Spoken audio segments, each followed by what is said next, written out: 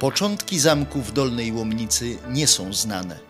Najprawdopodobniej istniała w tym miejscu wcześniejsza budowla renesansowa, która w późniejszym czasie została rozbudowana w dzisiejszy pałac, stanowiący obok domu wdowy jedną z największych atrakcji turystycznych miejscowości.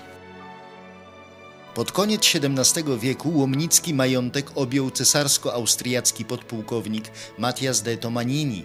Na potrzeby jego rodziny w roku 1720 wzniesiono w tym miejscu barokowy pałac. Jako projektanta rezydencji wymienia się znanego na Śląsku architekta Martina Franca, budowniczego m.in. kościoła Łaski w Jeleniej Górze.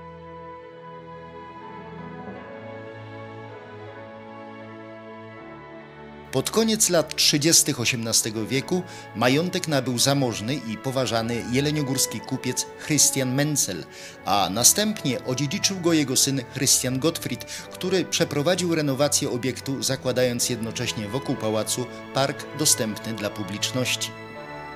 W roku 1800 Christian Gottfried wzniósł obok istniejącego pałacu nowy, klasycystyczny, który nazwano Domem Wdowy – był on przeznaczony dla sędziwych seniorek rodu, a nazwa nadana budowli na początku XIX wieku utrzymała się do dziś.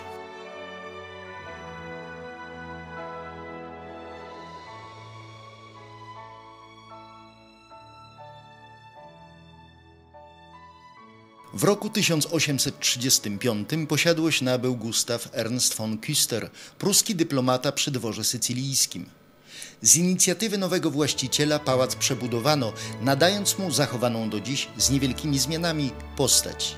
Autorem przebudowy był architekt Albert Tolberg, który pozbywając się większości barokowych detali i sztukaterii, nadał budowli cechy modnego wówczas stylu Biedermajeru.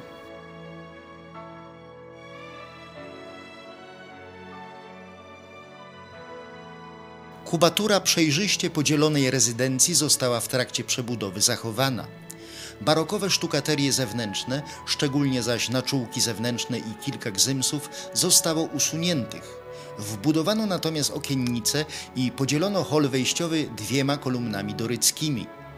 Niewątpliwego uroku budowli nadają fantazyjne dachy hełmy, wieńczące dwa, wysunięte mocno do przodu przed frontową elewację ryzality, przypominające nieco alkierze.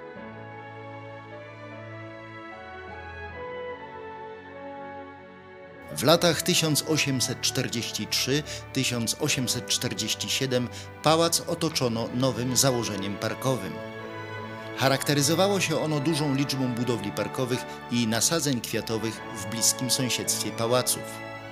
W górę rzeki Bóbr wykreowano natomiast swobodną kompozycję krajobrazową.